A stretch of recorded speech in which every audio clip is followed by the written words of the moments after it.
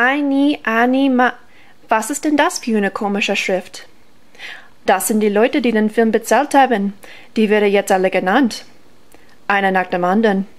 Uh, und wer bist du? Tiffany. Und du? Die böse Tante. du siehst ja gar nicht böse aus. Ich bin ja auch nie die böse Tante. Ich bin, naja, Schauspielerin. Ah, hübsches Kleidchen hast du da an. Aus der Customkammer habe ich mir selber ausgesucht. Echte Rüschen. Macht euer fertig, Kinder. Der Film geht los. Beim Klittendringel. Auf euer Platze. Okay, okay, komm ja schon.